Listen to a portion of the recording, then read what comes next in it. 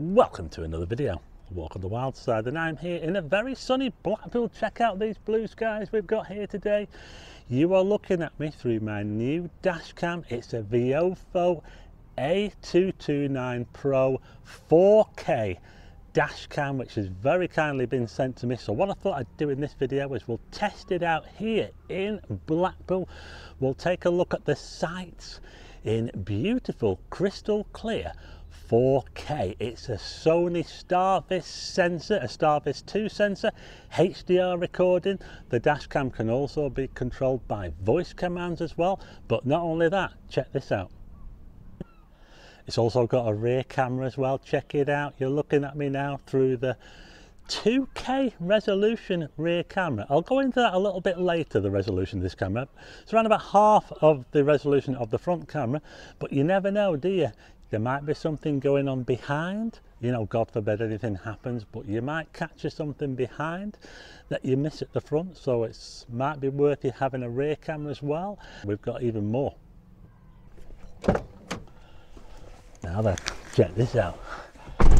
Look at this. I've even got an internal camera as well. Now this might not be so useful for me. Well, actually, I think it probably would be for videos. This is a 1080p so less resolution again, it doesn't really need to be as much resolution as the front camera. The front camera is the main camera, 4K. We've got 2K at the rear and this internal camera is 1080p but it's probably more than enough to capture what goes on inside the vehicle. Let's say that you're a taxi driver or something like that. That's where this internal camera could come in useful. But anyway let's go back to the front now and i'll tell you what we're going to do Right, okay, so you're now looking at me again in glorious 4K HDR resolution through the Viofo A229 Pro camera. And what I thought I'd do is let's give it a good test. Let's have a drive around Blackpool, shall we? I'll show you this site. And what I want to do is I want to give it a really good test as well. I want to test the resolution, of course. I mean, I want to test it against my other camera, my existing dash cam, which is a 1080p camera, is a really, really good camera actually, but I want to put it up against that and show how much better the 4K resolution will be.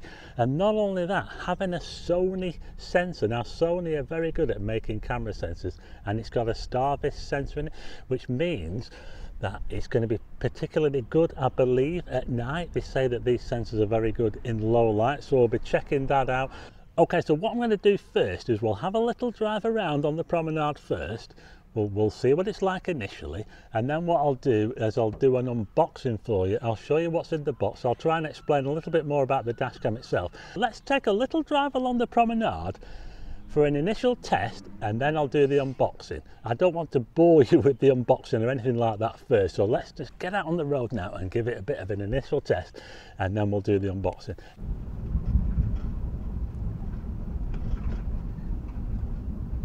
Okay so here we go we're now on the road with the Viofo A229 Pro dashcam and uh, this is a bit of an initial test. Uh, I'll be back on the road again at the 15 and a half minute mark if you want to skip the unboxing bit. But this is just a quick test. As you can see we're in sunny Blackpool here. We've got information at the bottom of the screen. With on the bottom left we've got the speed how fast I'm going. Hopefully I don't. Speed keep an eye on that. We've got the coordinates down there as well. 53 degrees north 3 degrees to the west here in Blackpool but we're just approaching the promenade now. So we're getting a little look now at the dash cam uh, nice quality HDR mode down there on the bottom right. You can see the date as well. I filmed this back in uh, April yeah as we go past the famous Blackpool Mirror Ball.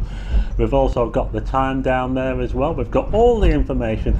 And don't forget that if you need to get anything off the dash cam itself you can use the app on the phone. I've got a phone app and uh, that's for Android and Apple of course and it's quite easy to link up to the dash cam and if you get anything interesting you can just download it onto your phone. We're looking behind now. Might not be quite level this camera looking, in fact it's upside down. I had to flip it now, I don't think it matters which way around you put the camera, it will correct itself. But for some reason, it didn't correct itself on this occasion. So you see the, the writing there, or the, the text was wrong way around because I had to flip the camera, but that was just a minor point. Hopefully, I think I get that right later on. But we're now going faster past, should I say, the famous Pleasure Beach here in Blackpool. Looking a bit quiet at this time of year. It was, um, well, it was late April, wasn't it? It was a while ago now, actually.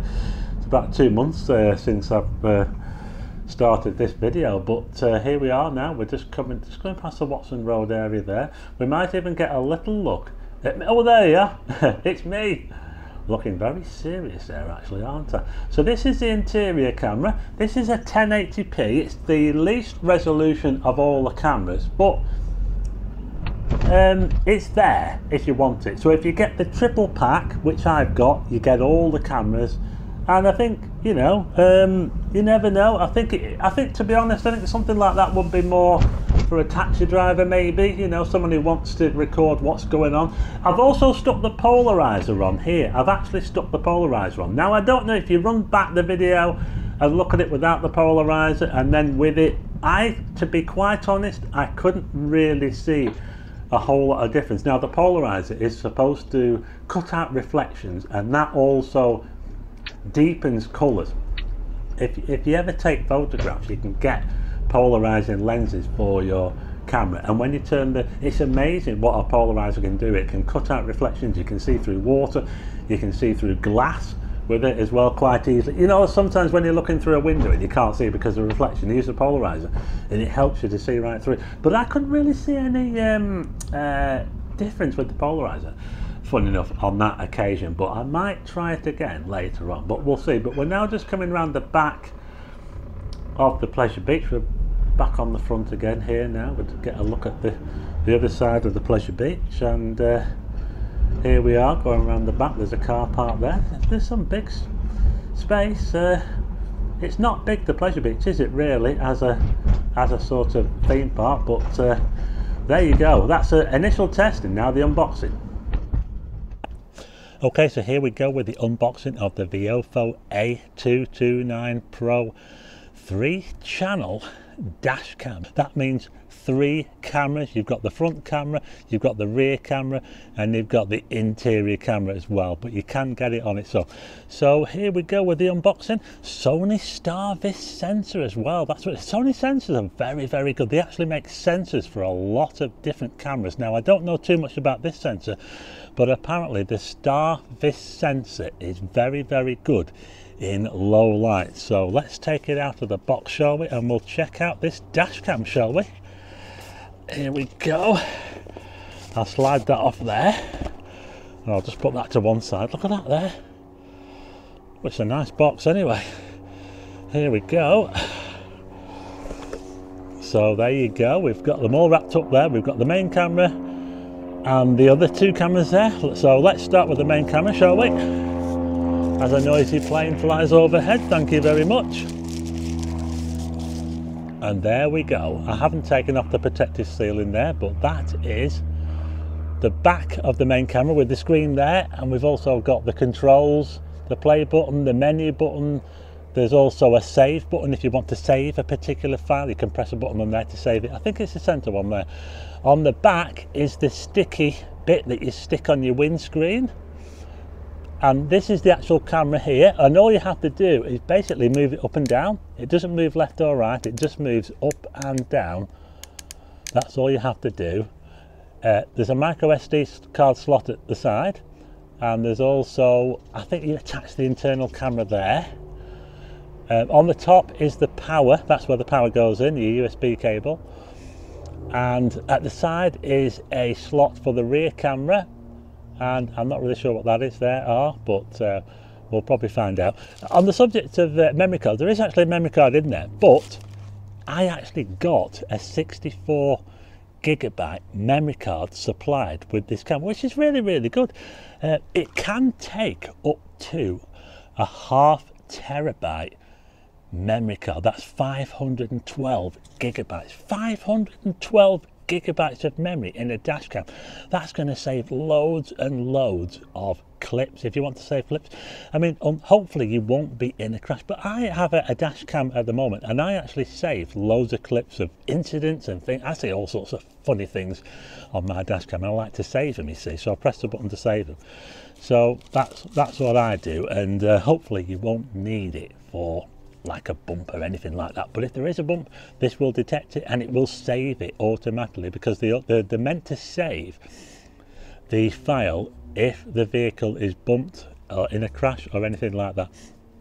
So that's the dash cam there. It's, it's, it is a nice looking dash cam, isn't it? So what we'll do now is we'll have a look at the other cameras. Now I'm not quite sure which one is which out of these, but one of them will be uh, I think I think that could be the, the rear camera, the one that goes on the rear window. I'm not too sure. Let's have a look at this one. I think, yeah, I think this is the internal camera. Now this is a 1080p internal camera. I can tell because it's got some like infrared uh, sort of sensors on it.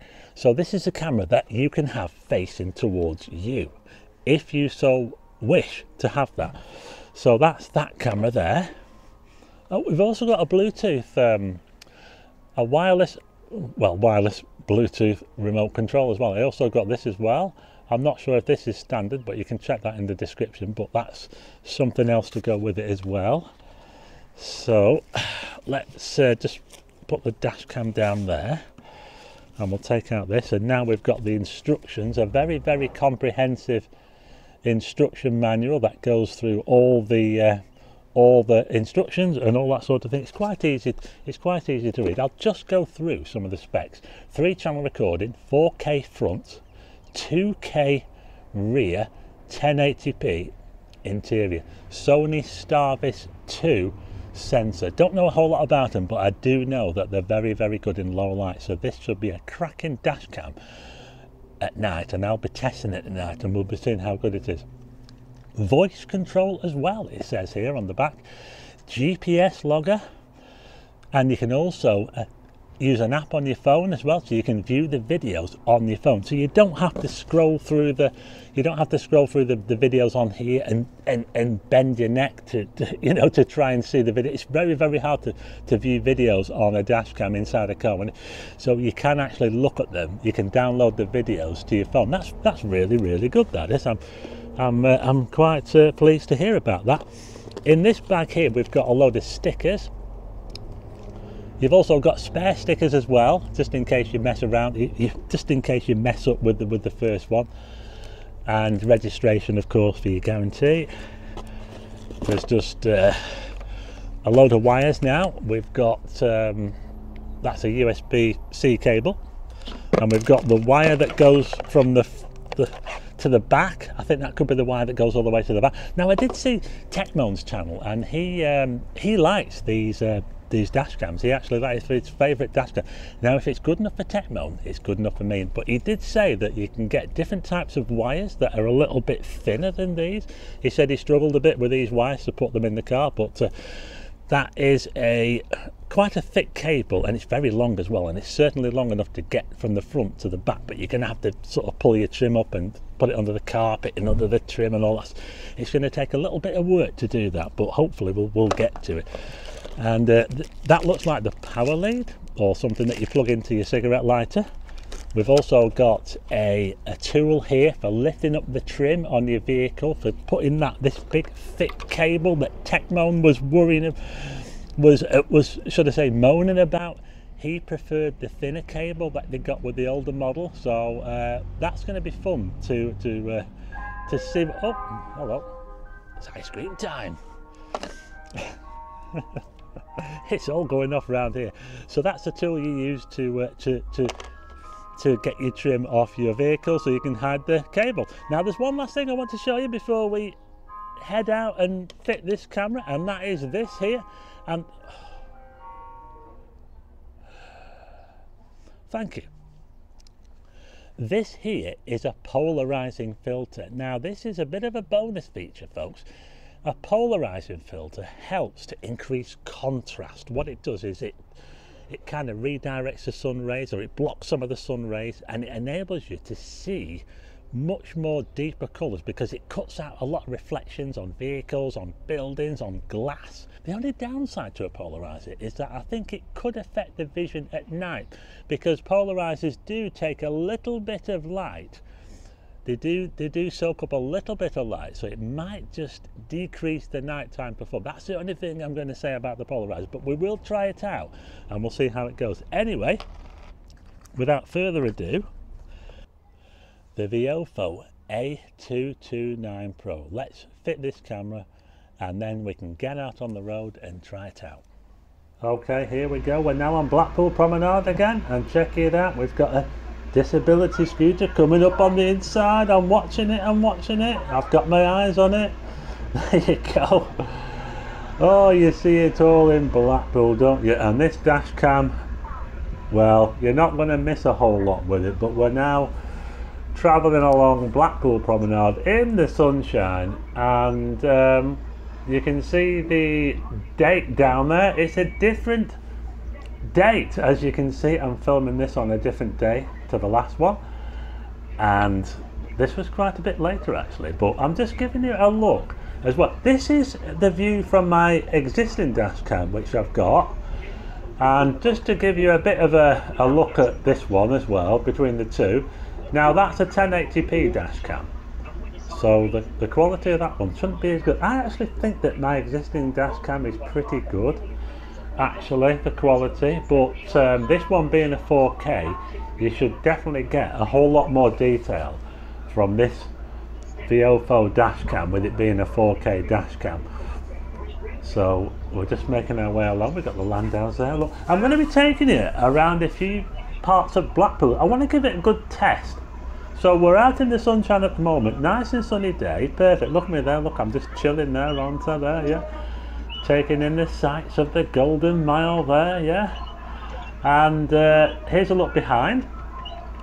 The camera that looks behind does look a little bit darker. We're back on the forward view again now. We can see it's very busy, isn't it?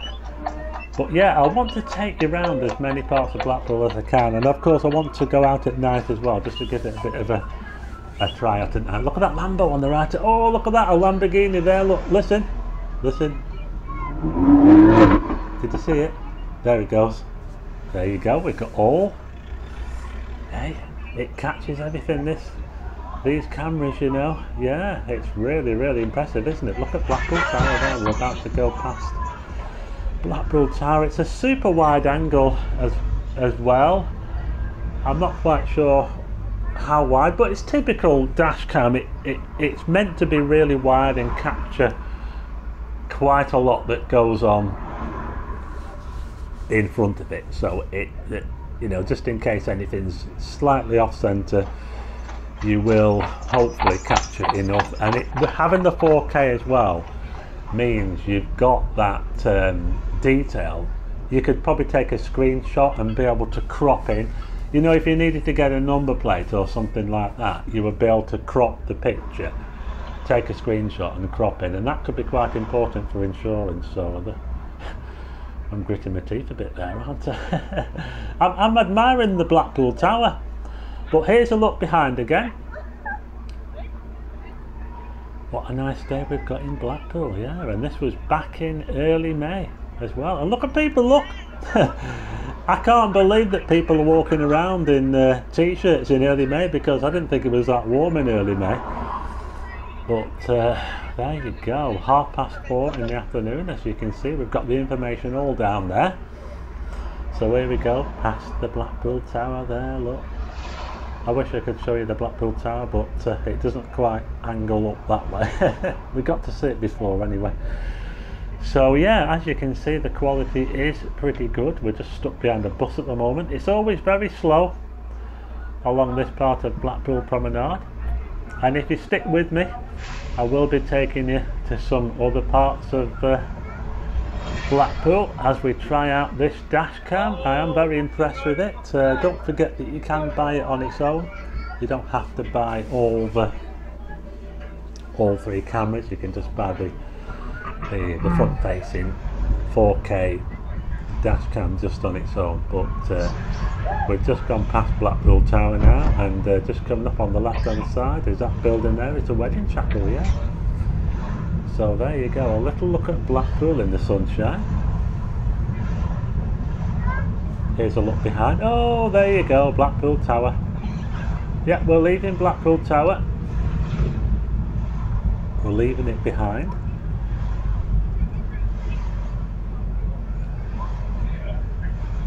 Ten eighty p rear camera. Sorry, not 1080p. I meant to say 2K. It's a 2K rear camera. It's like half the resolution of the front camera. So we'll just let these people go across the crossing, and we're now going to head towards the North Pier. There you go, the North Pier. Straight ahead is the cenotaph. So there you go, we're leaving. We're leaving Blackpool Tower. Say bye bye to Blackpool Tower. I'm now heading off the promenade now. I'm heading into Talbot Square.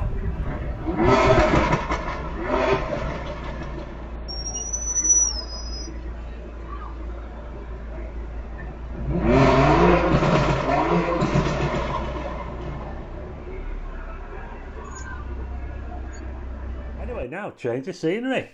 We are now at Stanley Park and I've stuck the polarizer on. Look at this blue sky, just look. Now I've taken the polarizer off. And now I put the polarizer on. Can you see a difference? You know what? I think I can. I actually think I could see a difference there with the polarizer there. So it does come with the polarizer if you wish to use it.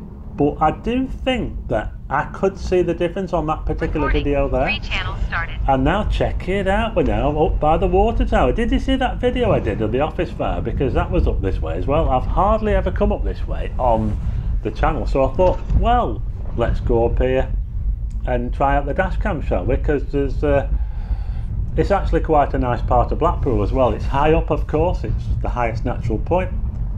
And I thought what I'd do is I would take a little look around here. And as you can see when I film this, we're back in April again because we've got the date down there. It says 28th of April. So I'm all over the place when I'm filming this, aren't I? Let's have a little look behind. Can you see the water tower there? Yeah, there you go, yeah. So we're going into this new housing estate now. It's called Regency Gardens and this used to be uh, a farm and allotments back in the old well not that not that long ago actually around about the millennium I think. Or just after the millennium when they built all these new houses here yeah yeah. But just look at it it's, it's a nice picture isn't it? It is a really bit of flare there understandably. Sometimes when you point the camera towards the sun you do get some flare but it's it's not it's not too bad really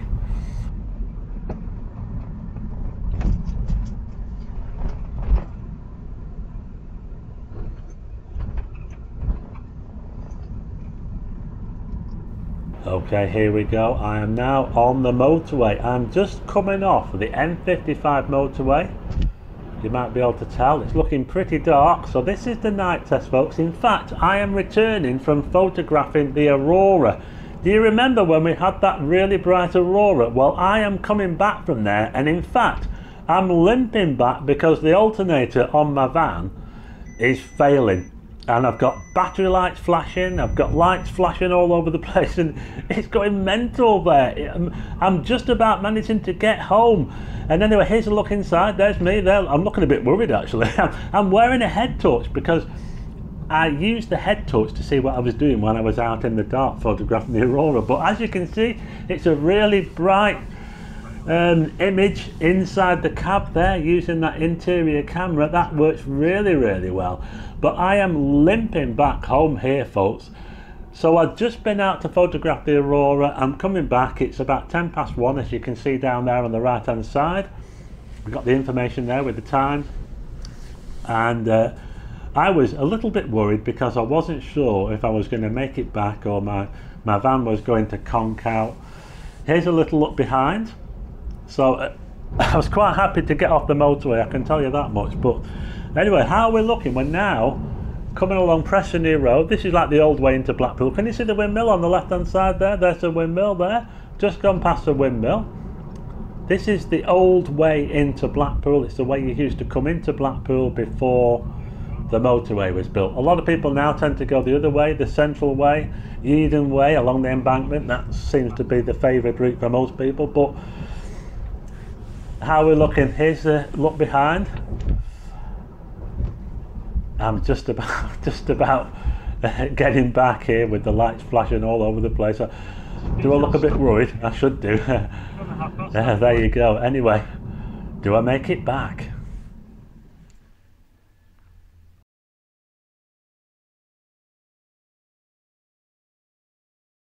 Yeah, so I just about managed to limp back home. My alternator had failed on the van and I just about made it home there, yeah. And the dash cam recorded the drama on the way back. I was out photographing the Aurora Borealis. It was absolutely amazing. I just want to show you a couple of pictures that I took while I was out there. Just look at these pictures here, the motorway there with the Lancaster services Oh, amazing. You could easily see it with the naked eye. I even took a selfie as well. Now, the most amazing thing is, is that the dash cam didn't actually pick up the Aurora. And you do see a lot of videos now where dash cams pick up all kinds of things. They pick up meteorites.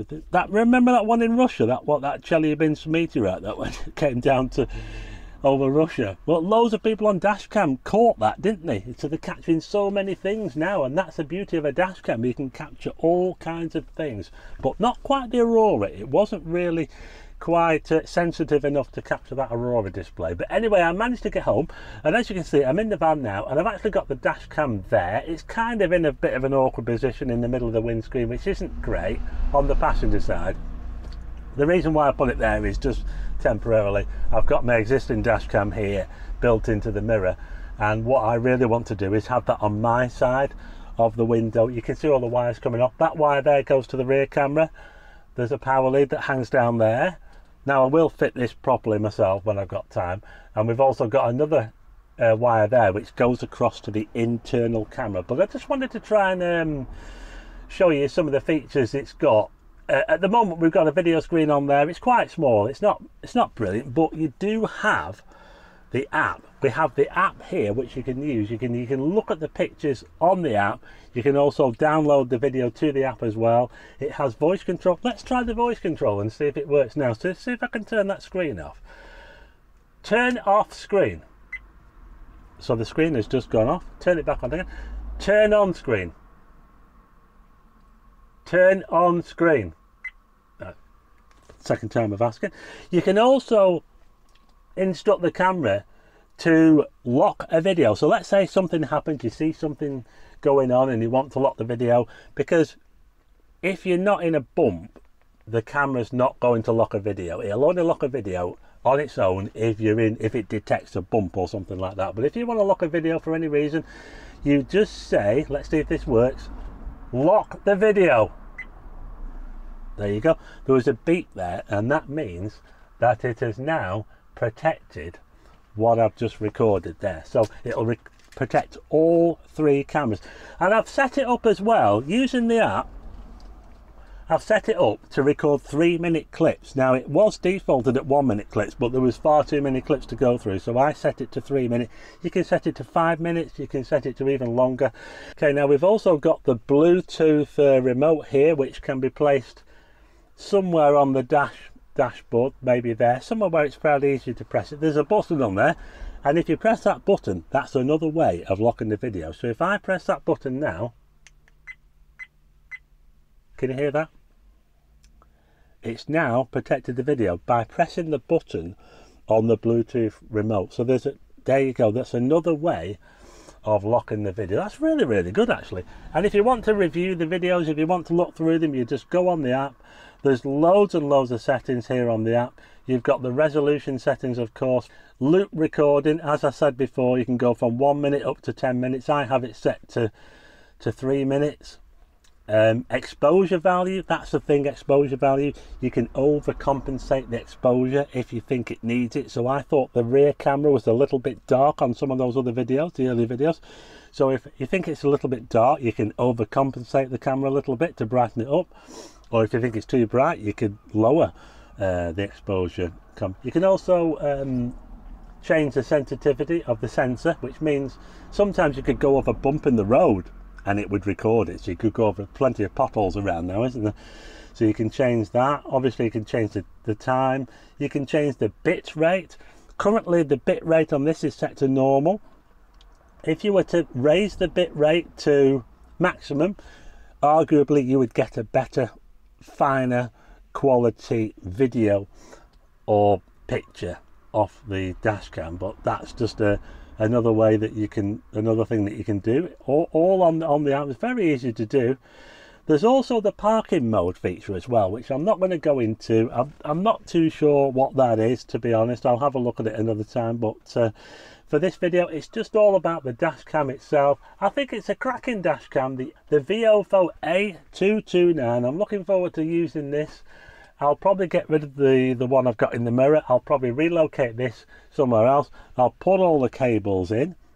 Anyway, I hope I've covered everything for you. And if you're interested in getting a dash cam like this, I'll put a link in the description so you can get one for yourself. Remember as well, it can take up to half a terabyte SD card, which is massive. That is huge. And if you're a taxi driver or, you know, a professional driver or something like that, uh, the more memory you've got, the better because the more clips you can save. You can also record at the highest bit rate as well. So that, a, a massive card like that will allow you to record more video at the higher bit rate as well. So that's it for this video. I hope you like it. The Viofo A229 Pro 4K dash cam. You know like like i said before i catch capture loads of stuff on the other dash cam that i like to save you know. We'll catch capture loads of stuff on this. They've also got the one at the back as well you know covering the back as well so there you go. Anyway don't forget link in the description if you want to buy one for yourself and if you like the video hit the like button and also hit subscribe and tick the bell for notifications of new videos and i'll see you again on the next one